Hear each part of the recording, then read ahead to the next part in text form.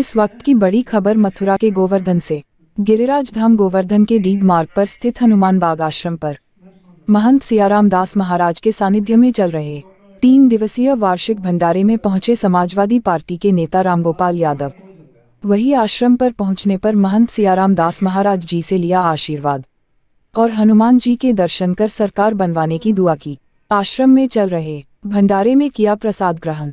महंत सियाराम दास महाराज से ब्रज की संस्कृति पर की चर्चा।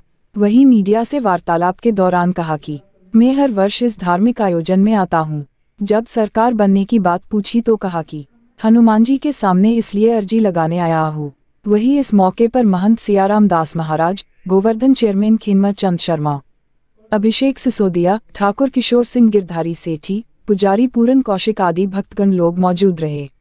गोवर्धन मथुरा से टाइम्स ल की खास रिपोर्ट। धन्यवाद। कोई जाए माम में नहीं फंसे। भगवान की कृपा है। हाँ।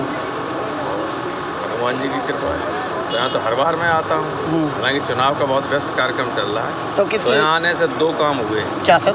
यहाँ महाराज के दर्शन हुए। हम्म, और आशीर्वाद प्राप्त किया सरकार बनाने के लिए।